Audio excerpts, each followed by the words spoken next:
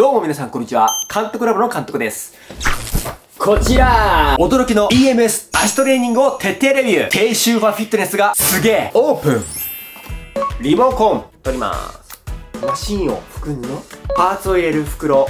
太ももストラップ。2つ。AC アダプター。アームアクセサリーが2つ。接続ラインが2つ。取扱説明書。そして本体。出しますこちらでございます。保護シールを剥がします。この動画では EMS 足トレーニングの特徴や効果について詳しく解説していきます。監督自身実際に使ってみました。映像もご覧いただきますので最後までご覧ください。そもそも EMS 足トレーナーとは EMS の原理を利用して左右の足の間を往復させることによって座ったまま簡単に足トレーニングをできるトレーニングマシンです。おすすめな方は運動不足の方高齢者ジムに行きたいけど行けてない方とにかく時間がない方台の上にただ足を乗せるだけ本を読んでいる間テレビを見ている間 YouTube 動画を見ている間何かをやりながらながらトレーニングができます。でこちらが本体なんですけどもここから直接操作することもできますがなんとこちら外せます。なのでわざわざこれを下に置いてかがんでボタンを押すのではなくて座ったままはいはいはいと腰をかがめることなく体で操作することができます。この足トレーナーは歩く時に使う3つの筋肉に対応しております。足の裏すねふくらはぎ。これらを BMS でトレーニングできます。足の裏から流れる静体電流によって筋肉を刺激して歩く筋肉を効果的に鍛えることができます。こちらのボタン誰でも簡単に覚えられます。本体を利用するには AC アダプターを接続する必要がございます。本体結構ずっしりしてるかと思いきやめちゃくちゃ軽いです。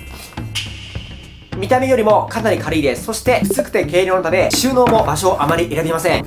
本体のこちらに差し込み口がありますので、はい、つけます。上に電源ボタンがあります。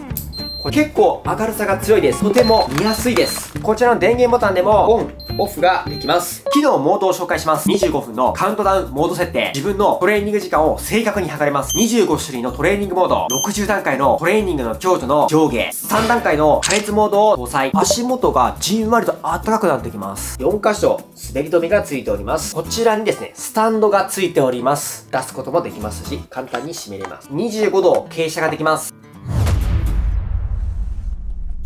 いきます。はい。おー、おー、バリバリバリバリ。